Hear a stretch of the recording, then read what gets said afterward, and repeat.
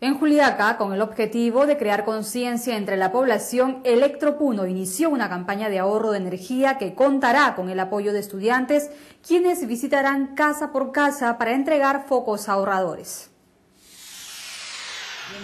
Funcionarios de la empresa Electropuno lanzaron una campaña de ahorro de energía eléctrica al distribuir más de 50.000 focos ahorradores en la región Puno. Y nosotros, Electropuno, como parte de FONAFE, estamos comprometidos en esta tarea, que es reemplazar focos incandescentes por focos ahorradores.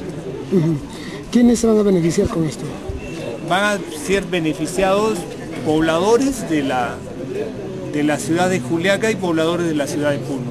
Persia Arriaga Redondo, representante de Electropuno, refirió que la campaña se prolongará por 30 días, periodo en el que 75 estudiantes del Instituto Superior Manuel Núñez Butrón visitarán distintos domicilios para cambiar las bombillas de 100 y 200 watts por focos ahorradores de 20 watts. Al término de la campaña se busca concretar la colocación de 25.000 focos ahorradores en la provincia de San Román.